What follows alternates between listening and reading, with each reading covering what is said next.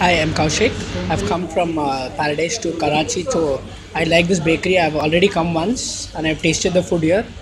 It's uh, nice. So uh, the background and all, the pictures and all here are nice.